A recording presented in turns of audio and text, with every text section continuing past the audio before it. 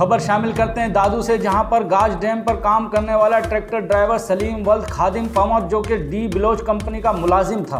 वो ट्रैक्टर कल्टी हो जाने के बाद जख्मी हो गया था। इसे इलाज के लिए दादू अस्पताल लाया गया, जहाँ वो जख्मों की ताब ना लाते हुए ज़िंदगी की बाजी हार गया। इसकी लाश इसके आबाई इलाका सखर रवाना कर दी गई।